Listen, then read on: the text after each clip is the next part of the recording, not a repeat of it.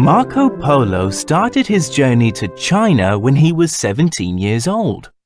He arrived at the palace of Kublai Khan, the Emperor of China.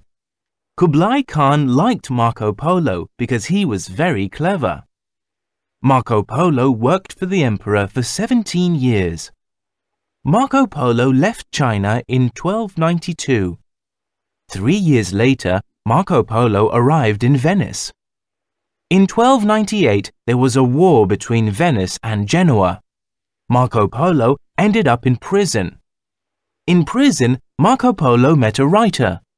Marco told him about China and he wrote a book called The Travels of Marco Polo. Today, we know a lot about China because of Marco Polo. People call Marco Polo one of the greatest explorers of all time.